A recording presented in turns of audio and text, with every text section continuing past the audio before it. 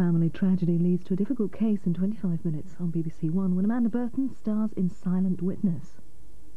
When there's no more room in hell, the dead shall walk the earth. It gets up and kills. The people it kills get up and kill. This Sunday at 11.30, we bring you George Romero's classic, Dawn of the Dead, part of the Forbidden Season on BBC Two. Scary, isn't it? Mathematics is tremendously difficult to understand. But if your calculations are right, you can predict the future. Stocks and shares need never be a risky business. You can beat the casinos at their own game, and the bookies could tip the odds in your favour. I laid out £432 in the bet, and I won 250000 Take a gamble on maths. If you can predict it, the future's bright. The numbers game starts tomorrow, 7.30 BBC Two. New York's Silicon Alley is the destination in 45 minutes to meet the new media talent which is revolutionising the net. You're watching BBC Two with the Monday Newsnight. The eyes to the right, 272. The nose to the left, 273. Defeat for the government in the Commons, only hours after John Major tells his cabinet to soldier on to the very end. If they can't win a vote on the core issue of education, how can they stagger on till May?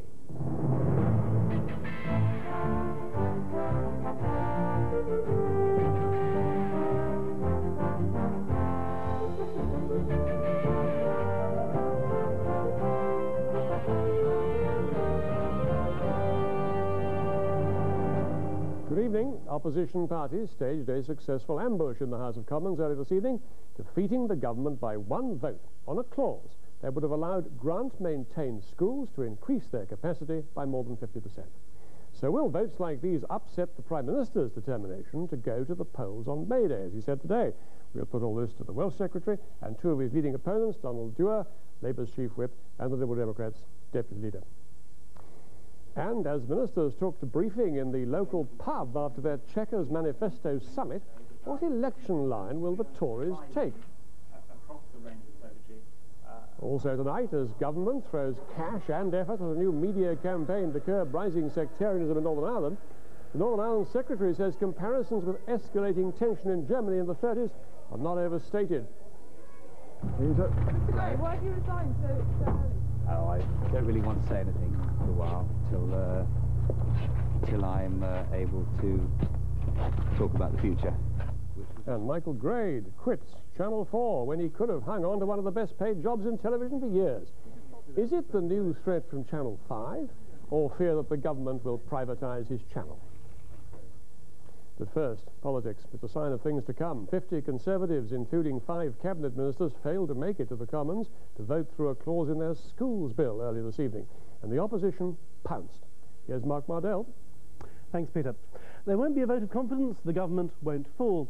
But Labour has inflicted a defeat, reminding the government of its vulnerability, indeed of its mortality, just as the message was coming out of a special cabinet meeting that the Prime Minister doesn't want an early election. He plans to carry on governing for a few months yet. Morning, Jenny. An informal John Major welcomed his ministers to his country home. He didn't, in fact, mention the election date to the full meeting. It wasn't discussed. But the line the spin doctors were pumping out was that John Major had once again made it clear he was playing it long until May the 1st. After tonight, it might look like prolonging the agony. The eyes to the right, 272. The nose to the left, 273. The amendment, defeated by a single vote, was about allowing grant-maintained schools to take more pupils. This part of the bill had already been defeated in committee. This time the failure to vote by five cabinet ministers, among others, contributed to a defeat that's raised temperatures at Westminster.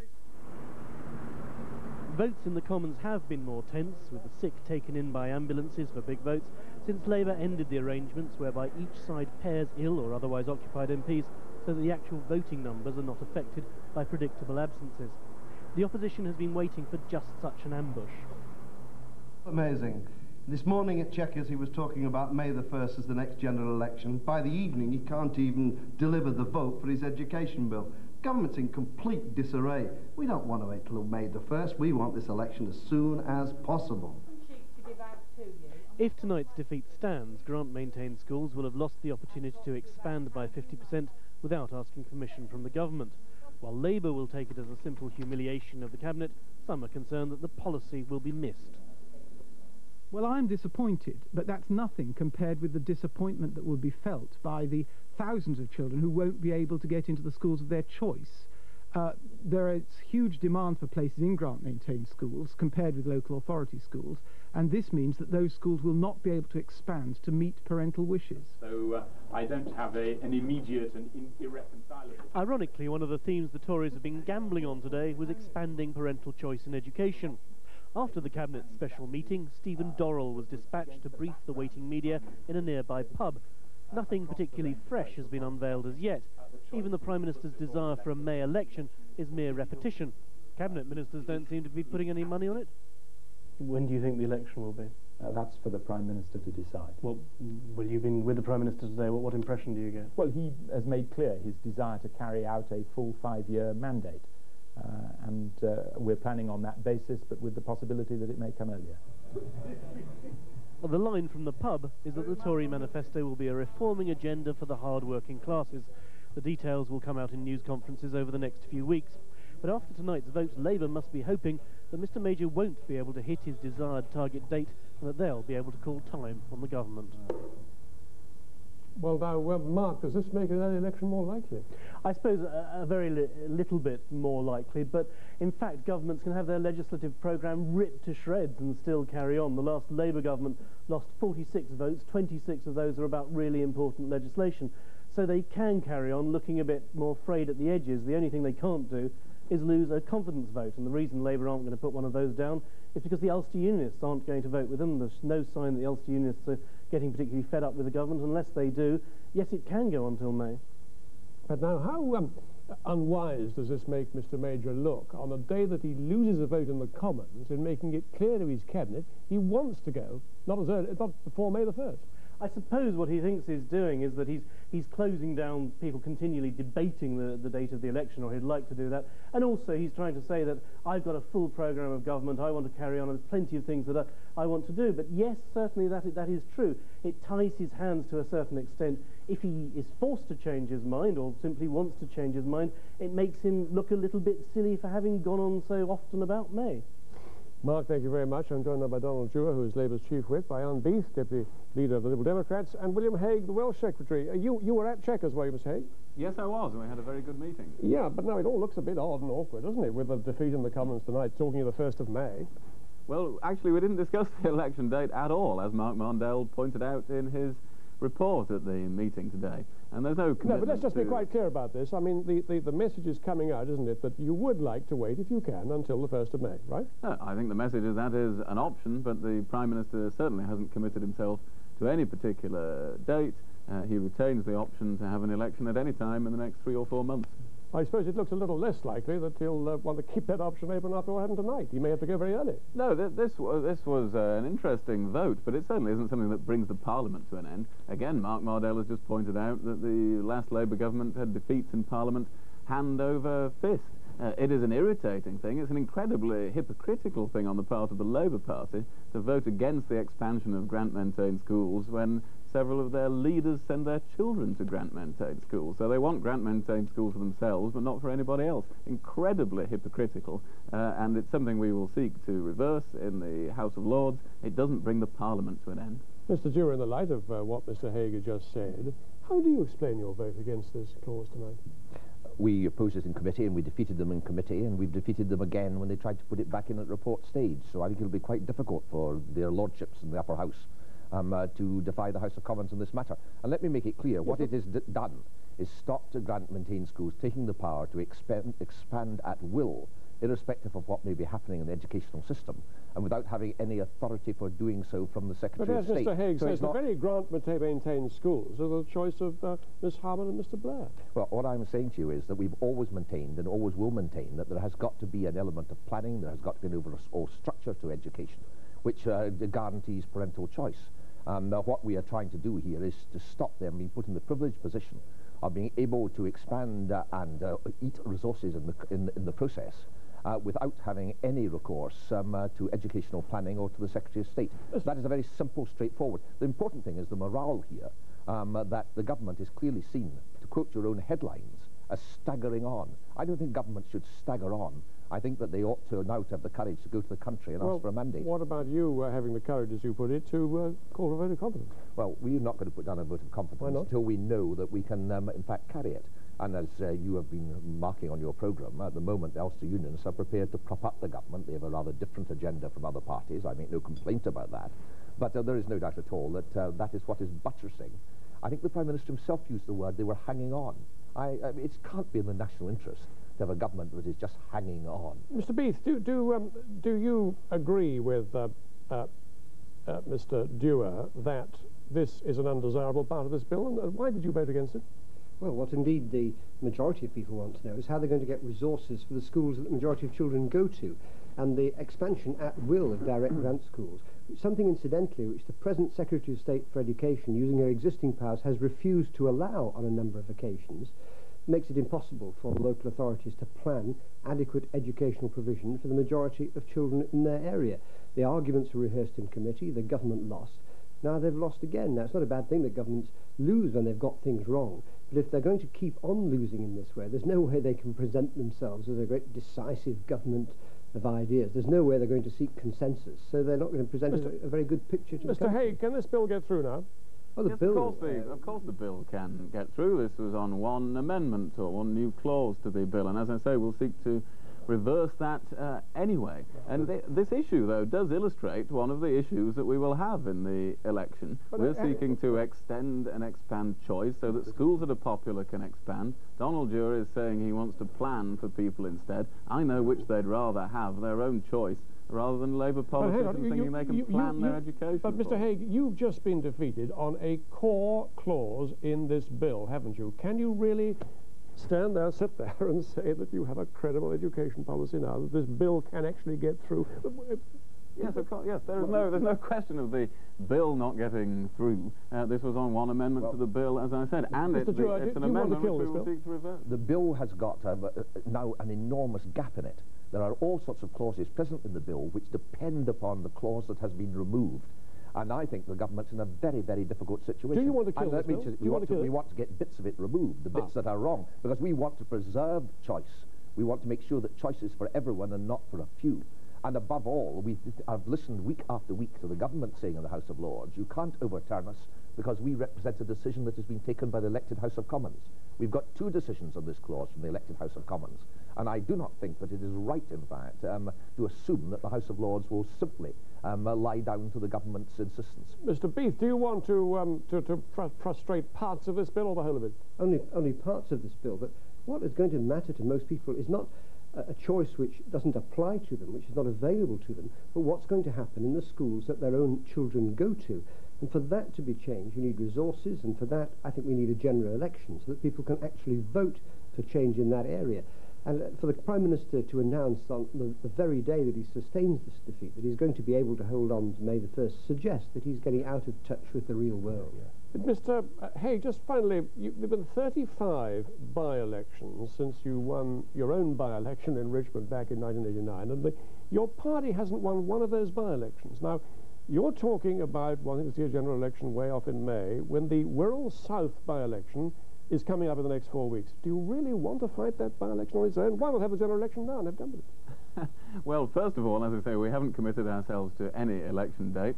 Secondly, I well know, uh, because you've just pointed out I won a by-election for the government eight years ago, that it is possible to win a by-election for the governing party, and I think people may be in for a great surprise if and when we hold that uh, particular by-election. Thirdly, may I just say, all this stuff about hanging on uh, is just the ritual stuff of opposition parties. If governments don't have an election till the end of a parliament, they say the government's hanging on. If they have an election before that, they say the government's running scared and has decided it has to have an election before things get worse. You could take these things out of a phrase book for the pre-election period of any parliament of the last 50 years. Thank you very much indeed. Uh, we'll come back to you, Mr Hague, in a moment, because uh, The government uh, may have faced the opposition in Parliament, but how do they expect, how does Mr Hague expect to face up to the voters who appear to be showing, uh, who appear to be showing less inclined than at any time in two decades to accept another Tory government? So we went to Worcester, home of the mythical Worcester woman, who Tory election strategists have identified as the successor to Basildon Man. He was the one, Basildon Man, who was supposed to have kept the Conservatives in power in the 1980s and the early 1990s. She Worcester woman, the strategists believe, will decide John Major's fate in 1997. Now, Worcester is a marginal seat that the Tories must hold if they're to stop Labour winning power. Four of Worcester's floating voters gave us their view of the Conservative policies that they'd like to see.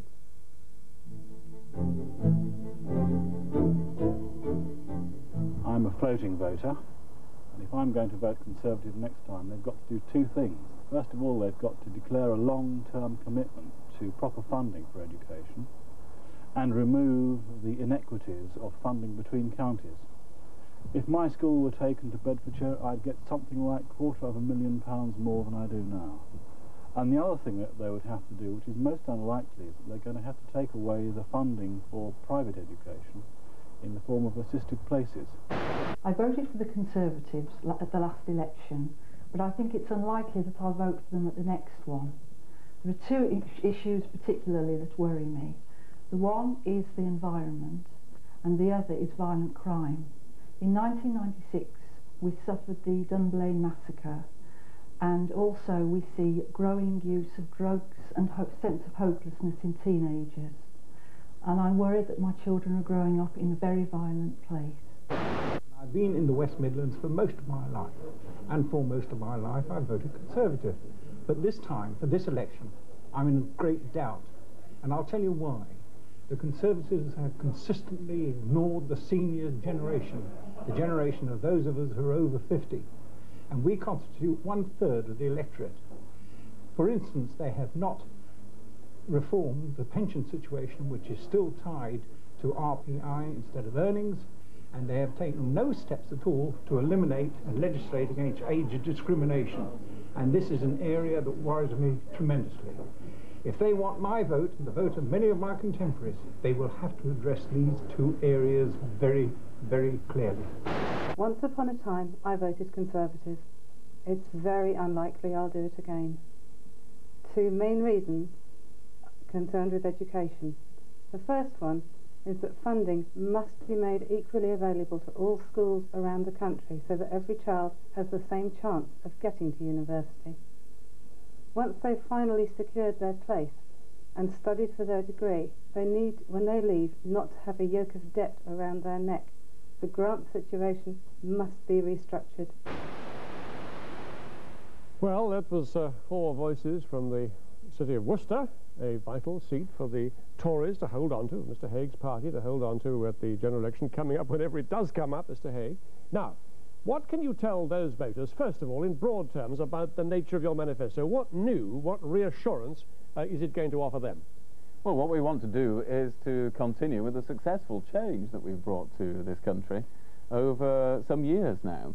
Uh, we got rid of the British disease, as it was called, in the 1980s.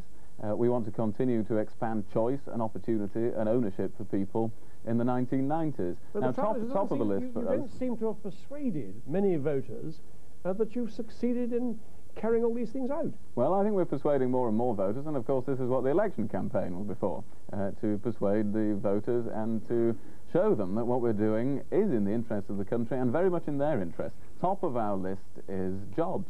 We now have created a fantastic job creation machine in this country. A million fall in unemployment over the last five years, whereas it's rising in most of the other European countries. It's a phenomenal achievement. It won't be able to continue at the same rate under a Labour government with minimum wages and social chapters.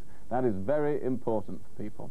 Education is also very important for people. The lady there who spoke at the end referred to opportunities to go to university those opportunities have been vastly increased under this government, so that one in three students can now go on to university, we have to make sure we get our message across so that people give us the credit But the problem is, Mr. Hague, that people want to know, these four people want to know, they know all about your policies, you've been telling us about them for a long time, but they want to hear from you something new that you're going to put in that manifesto, something new you agreed on today that will make them feel it really is worth making the, the, the move that they're not yet prepared to move, they're still floating, to vote Conservative. Yeah. Well, we will be announcing some new measures over the coming weeks and months, and we had a discussion at Chequers today about a variety of areas, about jobs again, about housing, about social security, uh, about transport, yeah, yeah. about education. Well, give us a hint on education. Give us a hint of what new you'll be saying.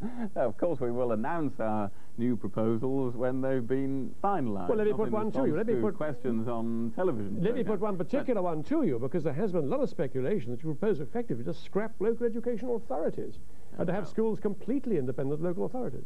You will have to wait for the manifesto or other announcements to see what we're proposing in the election. But people can clearly see from our education policies uh, to date, and we were talking about them a little earlier, the themes in which we believe of expanding choice, uh, of greater parental involvement in education, of raising standards through regular testing, through implementing the national curriculum, all things, by the way, which the opposition parties opposed when they were going through.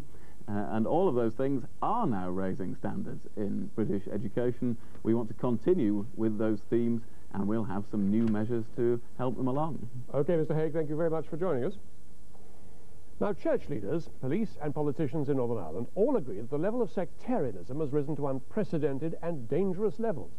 Wounds from Drumcree last year are still raw, while people are already gearing up for this year's marching season. Today, the Northern Ireland Secretary told Newsnight that comparisons with the rising tension in Germany in the 30s were not too far-fetched. Indeed, so concerned is the government that it's planning a new advertising campaign against sectarianism. From Northern Ireland, Martha Kearney reports.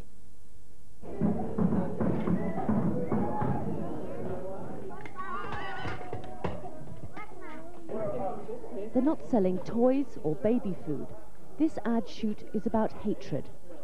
During the IRA ceasefire, Northern Ireland TV viewers watched these children promote a message of peace in a government campaign. And turn over. Now the future is much more uncertain. The ad takes on a more sinister air as macabre toys appear and news of sectarian attacks is played in the background.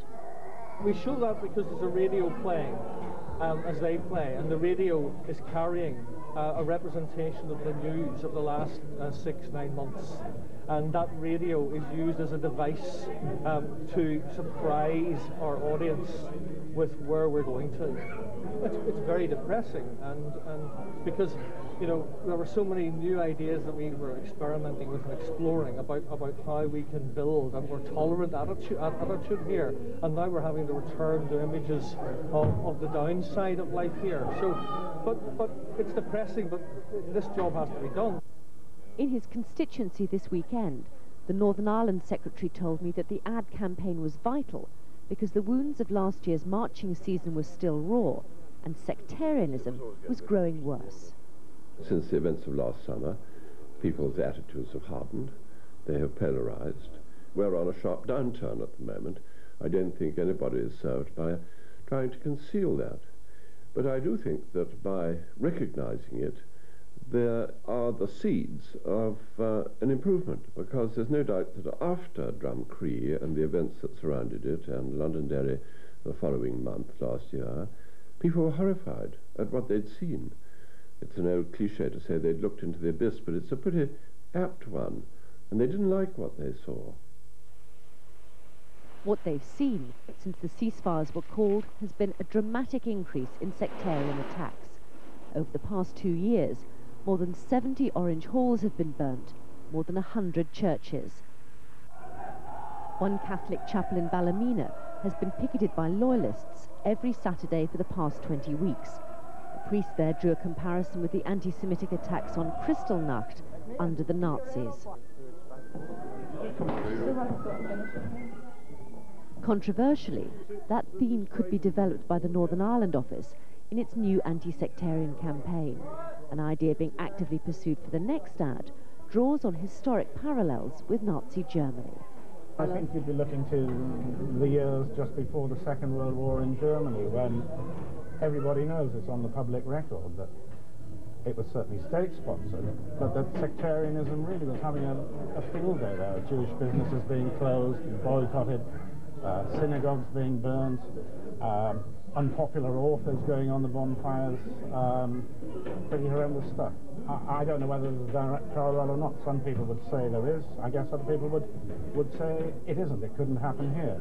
But I think it's probably worth considering that as an idea. I understand that one of the ideas in development is looking at parallels with other countries, one in particular at looking at church burnings in Northern Ireland and comparing them with pre-war Germany? Well, I think that that is a valid comparison to make. Some people will say, oh, it's shocking, oh, it's alarmist, it's extremist. We haven't got as far as that. No, we haven't got as far as that. But I wonder how many people have in their minds the unspoken word, yet.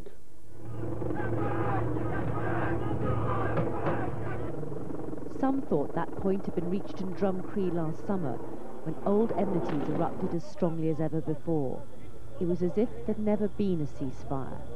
In that tense week, there was an outpouring of emotion, echoes of which are still being felt.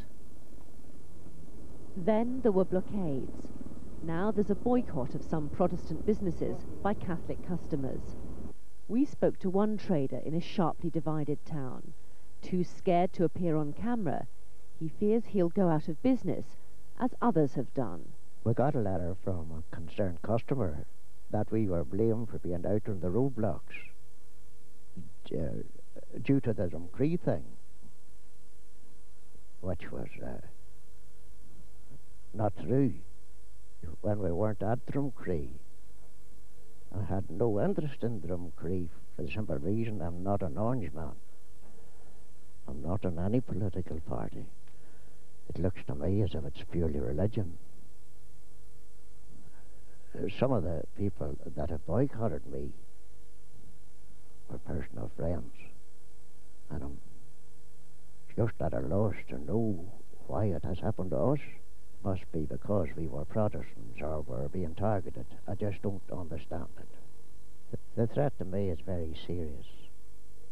I just feel I, I, I didn't want to do this, but I felt in my heart that I had to do it because I feel that isolated. I feel that frustrated that nobody's listening to me. I'm hurting. I'm hurting bad.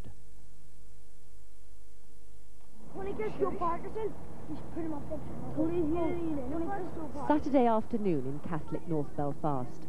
There's excitement before today's big match. Cliftonville against the Ballyclare Comrades.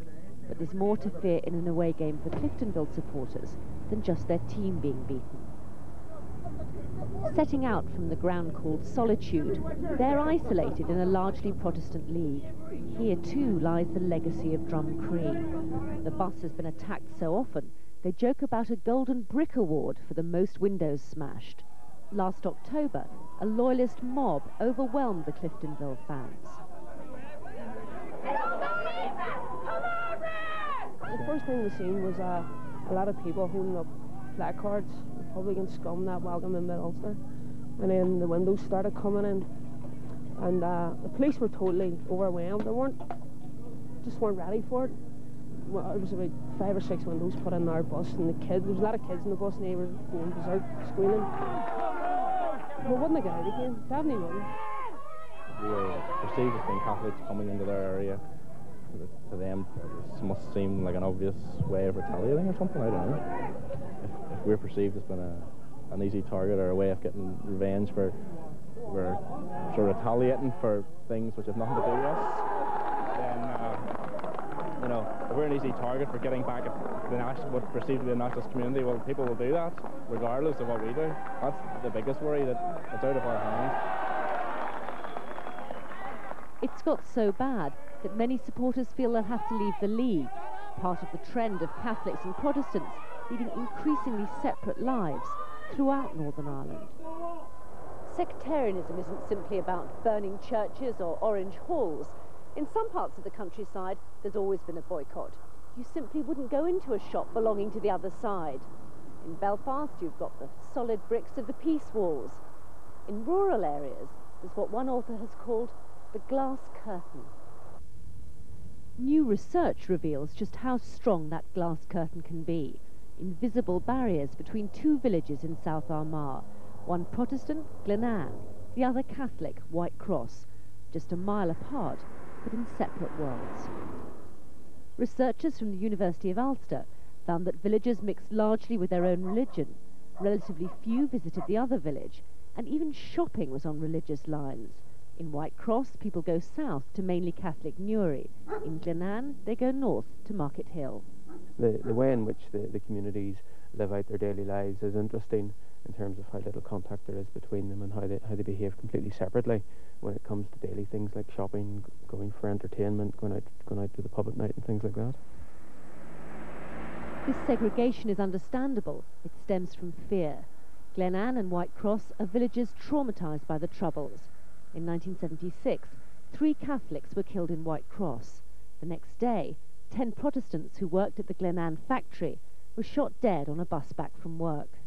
And six years ago, the UDR base in Glenanne was blown up by Ireland's biggest bomb. In response, the Protestant population has declined. In Glenanne, the shop, post office, and primary school have all closed in recent years. It's known as the greening of the border. That idea of territory being lost fuels Protestant determination to march. It does strongly. I mean, tradition and territory are a strong cocktail when it comes to, to community um, uh, per perceptions of, of loss and gain. And although it might seem quite marginal and, and almost incidental to to a tradition, um, it's, it's, it's a vital part of, of not just their identity and heritage, but also their future and, and their ability to, to, to feel comfortable and to feel that they have a sustainable future me means being able to enjoy traditional rights that they had to land and to territory, and, and all that's part of it. Even marching up a certain road? Oh yeah, very much so. It's all part of, all probably um, part of the, the, the same feature of territory. Just as land has been lost, some Protestants also feel their cultural identity is now under threat from the Irish tradition. They want recognition for what they regard as their own language, Ulster Scots. If I give you uh, body parts, uh, your nose would be called your neb, your ear would be called your lug, your eyes are your ain, your mouth is your gab, your throat is your thrapple. It's, that would be the sort of body parts. Uh, greetings would be Ferfaya, uh, Witway Ganji. You know, my position uh, is information stroke community outreach officer of the Ulster Scots Heritage Council. Uh, in Ulster Scots, I'd say I'm the Kemper of the Ulster Scots Herskip Council. You know, it's it's it's, it's a unfortunately it's a language which has not been schooled for centuries. It's not just a folk revival. There's a political dimension to this. Here in Grey Abbey, the Unionist Council has helpfully translated street signs into Ulster Scots as a defence of Ulster Protestants against ill-guided attempts to make them Irish. I don't feel myself to be Irish in any way whatsoever. I'm neither Irish by choice, by nature, by name, or anything else. It doesn't appeal to me, not where I come from. My ancestors come from the Scotch Presbyterians in the lowlands of Scotland. And the fact of the matter is, that's where the majority of us come from. During the peace process, essentially there was a move towards uh, an emphasis on common Irishness. Emphasising similarities is often papering over the cracks. I mean, it's like there's been a great analysis of the various musics that are played in uh, Ulster and pointing the common origins of the music.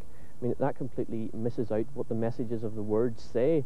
You know, they're playing the same instrument, maybe using the same notes, but the messages which are being transmitted are very, very different, and it's the different messages which are the problem. That separatist ethos is shared by Orangemen preparing for this year's Drumcree. Joel Patton, a leading light of the protests, claims his garden business has been boycotted since.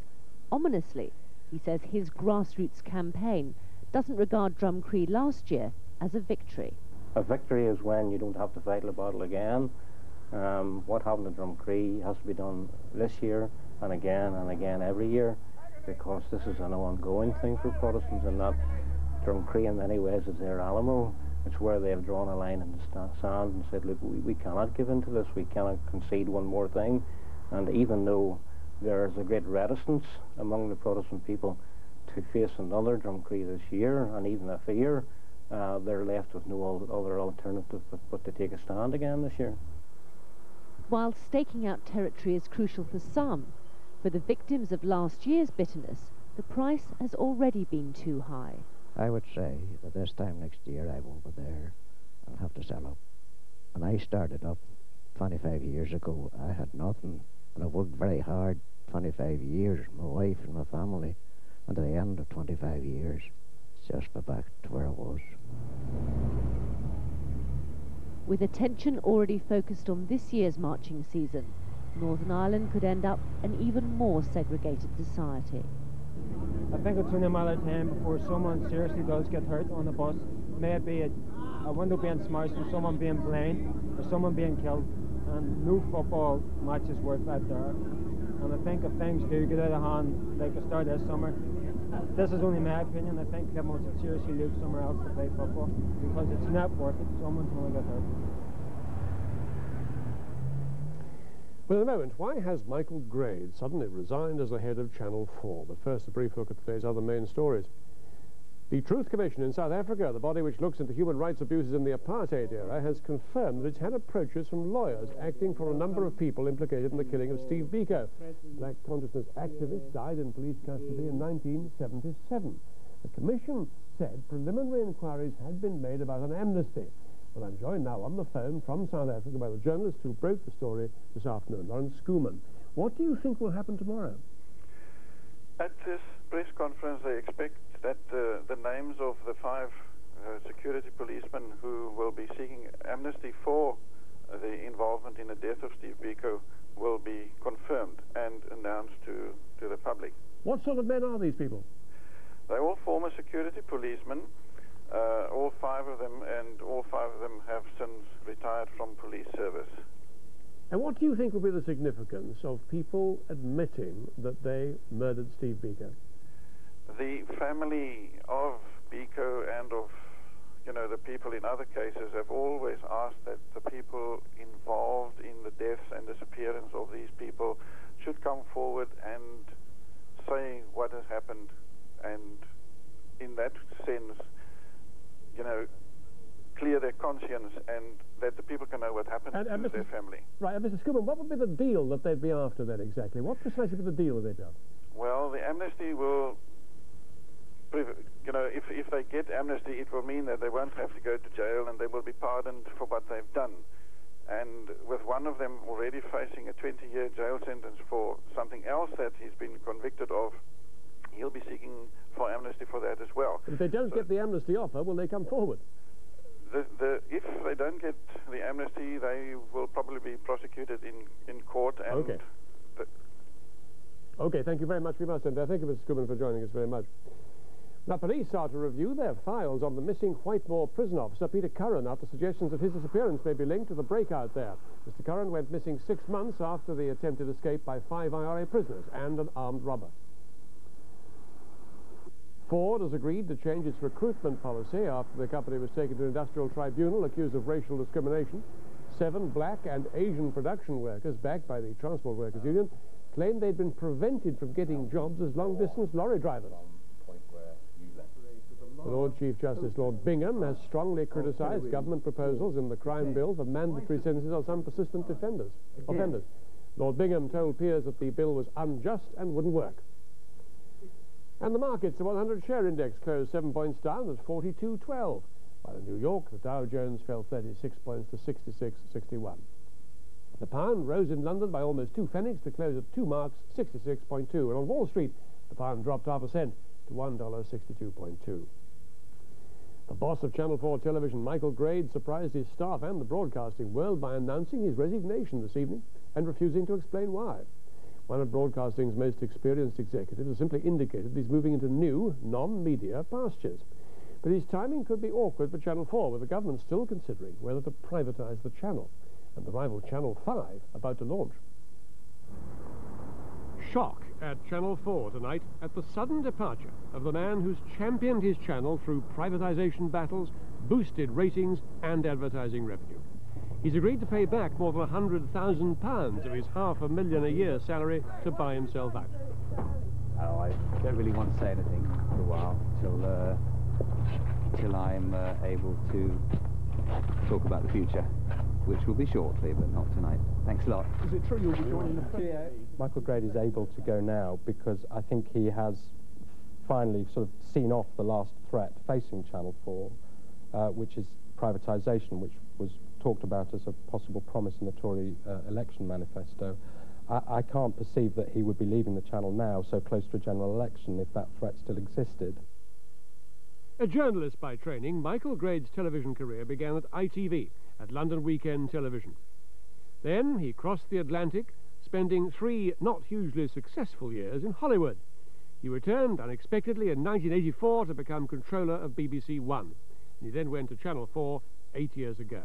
He's a leader, really, and uh, I think uh, that combination of his creative skills in, in, in, drawing talent in and also his persistence in ensuring that he put uh, Channel 4 on the broadcasting map, not just in its, uh, in its first instance, but in actually in, in ensuring that it's there for the future, has been very critical.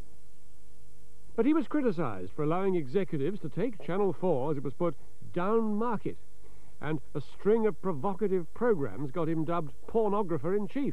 Some of the campaigns uh, which have been run against uh, Michael have been quite outrageous and unjustified, and I think it's a tribute to his very broad shoulders that he's been able to do his job and do it successfully and well, despite a great deal uh, of antagonising from certain sections of the press.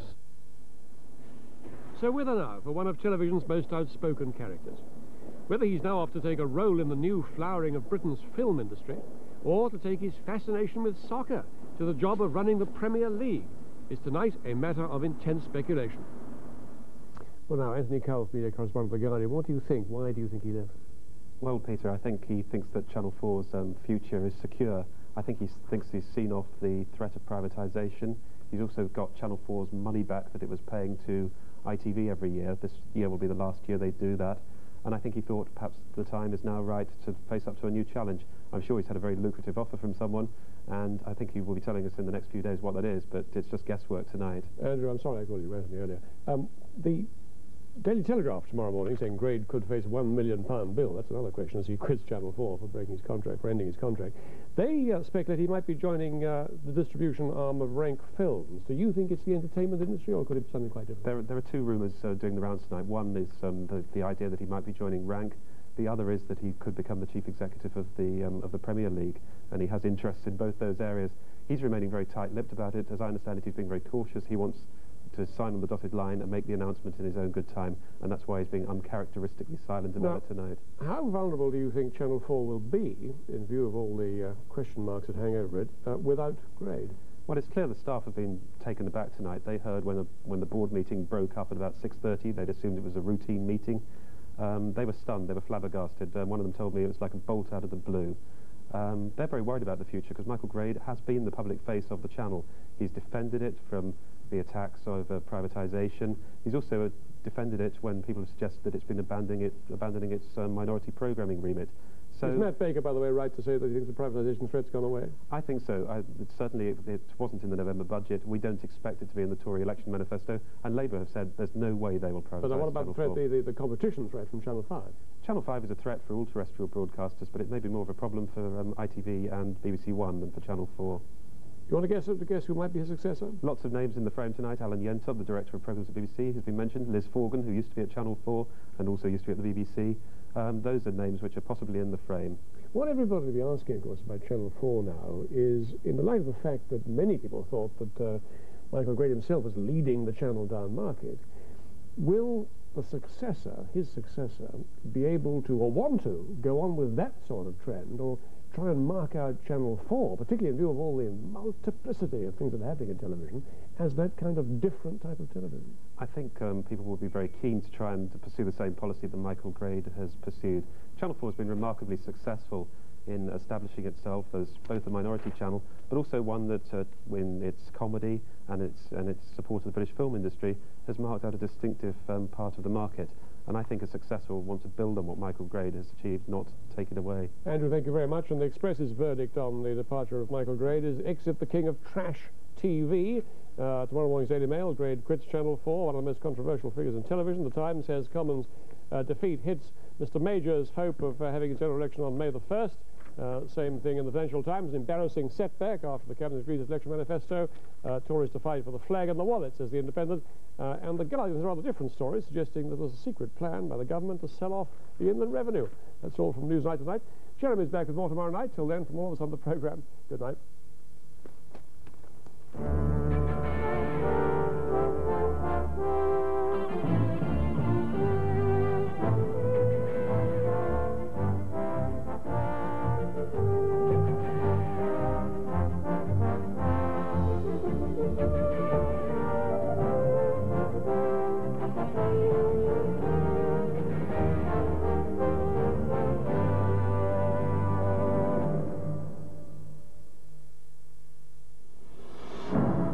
She was one of the world's most prominent and respected politicians. He was her playboy husband. Now, Benazir Bhutto's government has been deposed amid charges of corruption. Asif Zardari is in prison, facing the death sentence, and an estimated one billion pounds has been plundered from the poor of Pakistan. Assignment investigates The Princess and the Playboy, Saturday at 6.30 on BBC 2.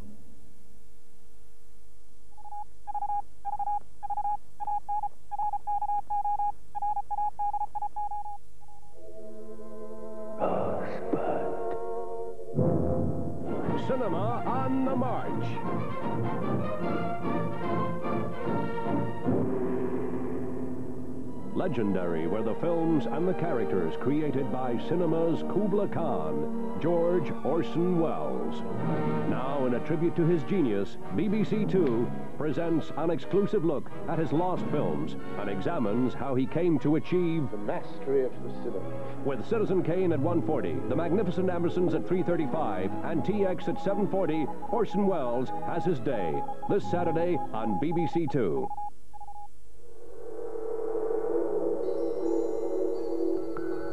BBC Two goes online now with the net.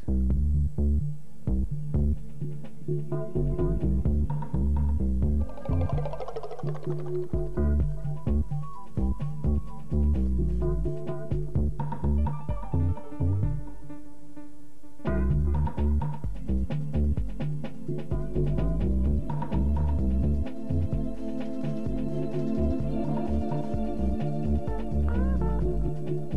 tonight's show, we're going to take a very serious look at the world of play.